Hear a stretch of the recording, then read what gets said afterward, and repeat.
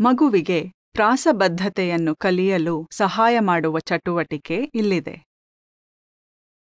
ನೀವು ಎರಡು ಪ್ರಾಸಬದ್ಧವಾದ ಮತ್ತೊಂದು ಪ್ರಾಸ ಮಾಡದ ಪದ, ಒಟ್ಟು ಮೂರು ಪದಗಳನ್ನು ಹೇಳಿ.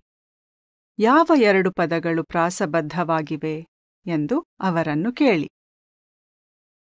ಉದಾಹರಣೆಗೆ ನೀವು ಕಾಲು, ಟೋಪಿ, ಹಾಲು ಇದರಲ್ಲಿ ಯಾವ ಪದಗಳು ಪ್ರಾಸಬದ್ಧವಾಗಿದೆ ಎಂದು ಕೇಳಬಹುದು.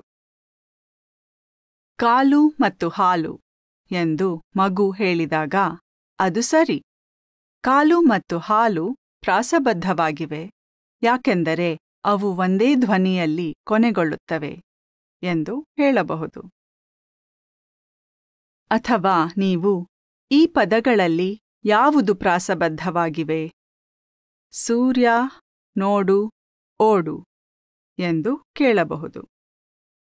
ಆಗ ಮಗು, ನೋಡು ಮತ್ತು ಓಡು ಅಂತ ಹೇಳಬಹುದು.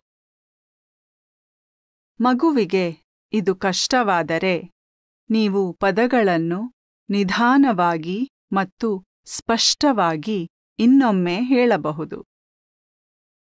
ಯಾವುದು ಪ್ರಾಸಬದ್ಧ ಎಂದು ಹೇಳಲು ಪದಗಳು ಕೊನೆಗೊಳ್ಳುವ ಶಬ್ದವನ್ನು ಆಲಿಸಬೇಕು ಎಂದು ನೀವು ಮಗುವಿಗೆ ವಿವರಿಸಬಹುದು.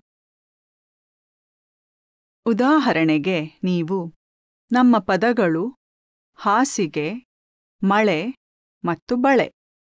ಹಾಸಿಗೆ, ಗೆ ಯೊಂದಿಗೆ ಕೊನೆಗೊಳ್ಳುತ್ತದೆ. ಆದರೆ, ಮಳೆ ಮತ್ತು ಬಳೆಯ ಕೊನೆಯಲ್ಲಿ ಳೆ ಶಬ್ದವಿದೆ. ಆದ್ದರಿಂದ ಮಳೆ ಮತ್ತು ಬಳೆ ಪ್ರಾಸಬದ್ಧವಾಗಿವೆ ಎಂದು ಹೇಳಬಹುದು. ಪ್ರಾಸಬದ್ಧ ಪದಗಳನ್ನು ಗುರುತಿಸಲು ಈ ಚಟುವಟಿಕೆ ಸಹಾಯ ಮಾಡುತ್ತದೆ.